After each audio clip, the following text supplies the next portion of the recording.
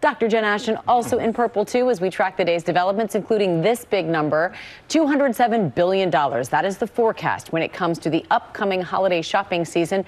But out of stock messages when shopping online are up, look at that, 172%.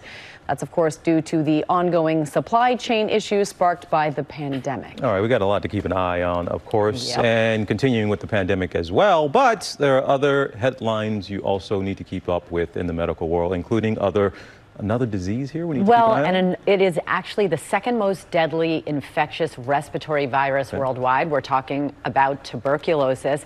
And interesting news with respect to TB and its relationship with COVID 19. I'll tell you what I mean. First of all, the old theory within the world of tuberculosis is that this is a bacterium that's spread by coughing, vigorous active coughs from an infected person. Now there's a new theory that's getting a lot of attention both here in this country and worldwide that it's actually probably not those vigorous coughs, it's the tiny aerosols that are spread just by regular breathing. What does that sound like? A lot like COVID. This explains why tuberculosis spreads so easily in densely crowded indoor settings. And this is a perfect example of how COVID 19 knowledge, even though it's been occurring at breakneck speed, has actually informed what we understand and how we think of other infectious diseases. All right, Dr. Jen, thank you very bet. much.